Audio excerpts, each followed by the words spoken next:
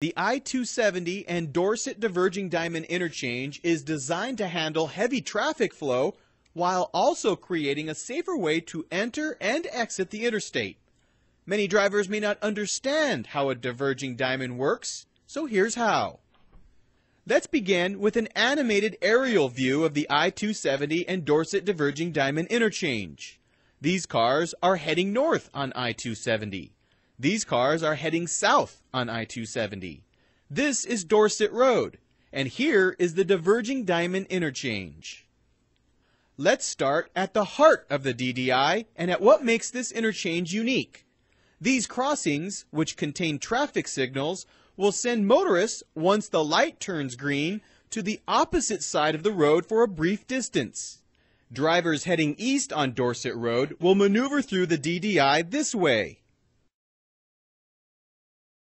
Here's a driver's seat view, heading east on Dorsett Road. Traffic signals will welcome you as your vehicle approaches the interchange. In this case, the light is green, and as we continue forward, we begin to merge into the other side of the road. Signs above will assist your travels. Stay in the center and right lane to continue on Dorsett. Merge into the left lane for the on-ramp to I-270.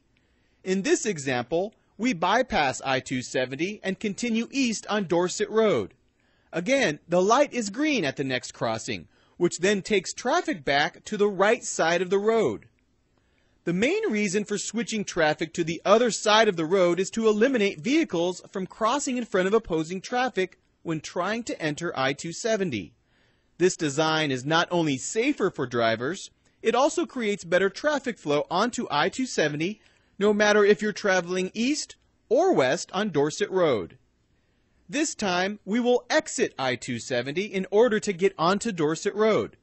Drivers exiting the interstate will follow this route once arriving to the DDI. We're leaving I-270 northbound and we're on the exit ramp, planning to head west on Dorset Road.